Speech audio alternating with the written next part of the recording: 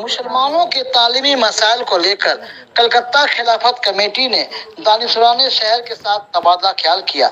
मिलियत के अंदर तालीम मैार बुलंद हो और मगर बंगाल सिविल सर्विस के इम्तहान में 300 नंबर के बंगला ने उर्दू स्कूलों में टीचर्स की बहाली व उर्दू स्कूलों में S T S C quota की जगह पर जनरल कोटा की हिमायत में सनीचर के दिन कलकत्ता खिलाफत कमेटी के जिम्मेदारान दानिशवर मिल्लत कलकत्ता के मुख्तलिफ़ स्कूलों के head masters teachers in charge मुख्तलिफ़ एन जी ओ ट्रस्ट व अंजुमन व सोसाइटी के जिम्मेदारान के साथ इन मसाइल का हल तलाश करने के लिए कलकत्ता बोटिंग क्लब बंधन बैंकोट हॉल में तबादला ख्याल हुआ, जिसमें कलकत्ता खिलाफत कमेटी के सदर जावेद अहमद खान, इमाम ईदन कारी फजूर रहमान कलकत्ता खिलाफत कमेटी के जनरल सेक्रेटरी नासिर अहमद, नायब सदर एम एन हक, अनवर प्रेमी, सीनियर नायब सदर मोहम्मद खलील, डॉक्टर हैदर अली, शुएब अहमद फैसल मंशूर हसन, जिया नफीस, अकरम लोधी, आसिफ इकबाल मलिक मोहम्मद इसहाक के अलावा इमरान जकी, अंजुमन तरक्की हिंद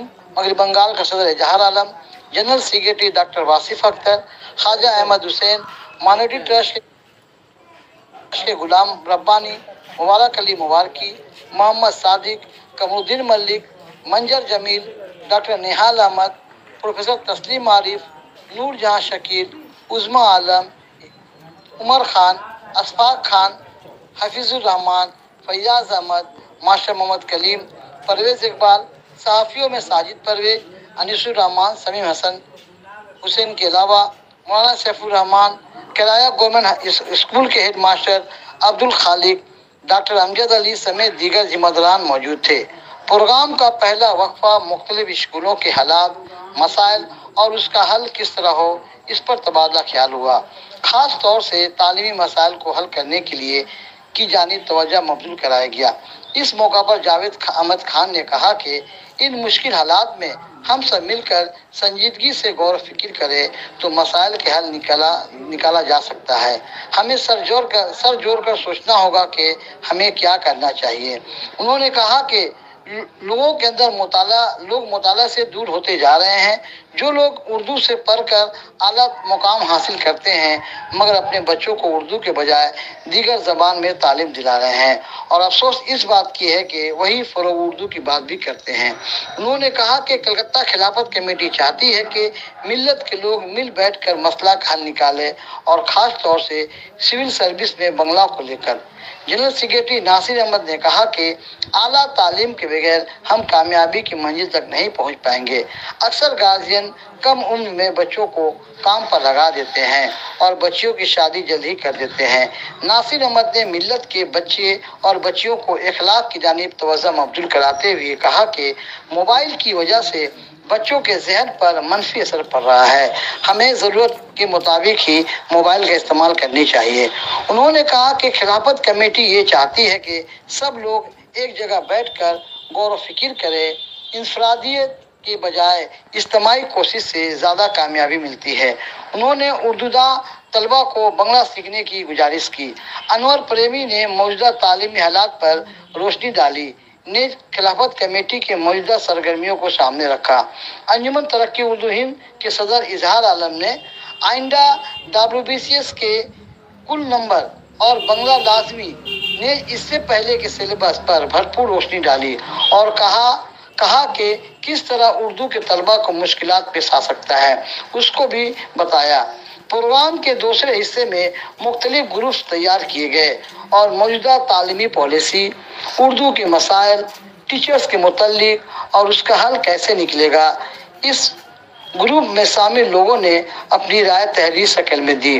ज़्यादातर लोग बंगला के लाजिम पर नाराज़गी का इजहार करते हुए ये मशवरा दिया कि पहले हुकूमत दर्जा पंजम से बंगला की तालीम की बंदोबस्त करे।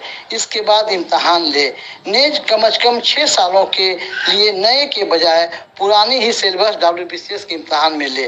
नेज बंगला को माध्यमिक में बतौर तीसरी जबान रखे उम्मीद है कि ऐसा करने से चंद सालों बाद उर्दू के तलबा को भी बंगला वालों से मुकाबला करने के काबिल बन जाएँगे। मशवरा में उर्दू स्कूलों के टीचर्स के हालात ने वफ की जायदाद की भी बात हुई है और बंगला सीखने पर ज़ोर दिया गया। इस प्रोग्राम के कन्वीनर आसिफ इकबाल और अनवर प्रेमी थे, जबकि अनवर बरीम ने आखिर में शुक्रिया अदा किया, जबकि मौलाना कारी फजल रहमान ने मुल्क के अंदर अमन और सुकून के लिए दुआ की। मैं साजिद परवेज, पैगाम टीवी, कोलकाता। आज की ये नशिश कलकत्ता खिलाफत कमेटी ने बुलाई है कि मौजूदा हालात के तहत हम अपने तालीमी मसाइल पर रोशनी डालें और उन मसाइल का हल तलाश करें। ये असल में सिर्फ़ मसाइल बयान करके छोड़ देना, ये हम लोगों की बहुत पुरानी आदत हुई है। लेकिन उस उन मसाइल को बैठ करके उसका सॉल्यूशन क्या है, उसके ऊपर में बात करना और उसके ऊपर में बेशरफ, उसके, उस रास्ते के ऊपर में चलना, ये हम लोगों की असल ज़िम्मेदारी। तालीम हमारी नस्ल का मुस्तबिल है। बच्चों और बच्चियों, अगर तालीम और तरबियत सही होती है तो कौम कामयाब होती है कामरा होती है। लोग उसको मानते हैं, उसको अपने सर पे बैठाते हैं। ये सब थिंकिंग जो हम लोगों का है कि हिंदू है, मुसलमान है, हम लोगों के अंदर में असबियत है, हम लोग एक दूसरे को नहीं पहचानते, सब बिल्कुल कतई गलत बात है।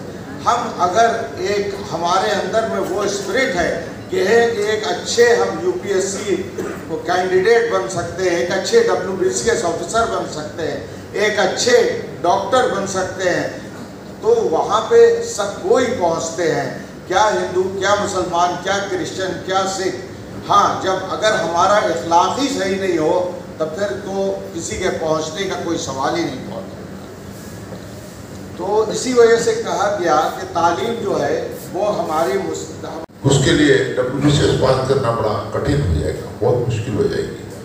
और इसमें सरकार को आप अपने हिसाब से सोच रहे हैं हम अपने हिसाब से सोच रहे हैं, वो अपने हिसाब से सोच रहे हैं। हम लोग को डिस्कशन करके एक ठोस राय, रास्ता निकालना होगा और उस पर हम लोगों को काम करना होगा।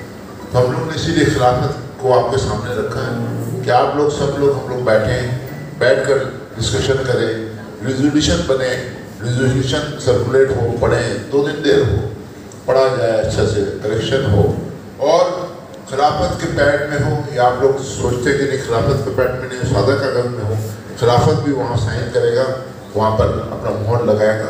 और एक मेमोरेंडम जाना चाहिए गवर्नमेंट के पास, और गवर्नमेंट से मेमोरेंडम में जो हमारा डिमांड हो, वो तो रहेगा रहेगा। लेकिन उसके साथ साथ हम लोग डिस्कशन के लिए भी चीफ मिनिस्टर से बात करने के लिए भी एक डेलीगेशन हम लोग तैयार करें। जो लोग वाकिफ बहाल हैं इससे नॉलेज उनका है, जो जानते हैं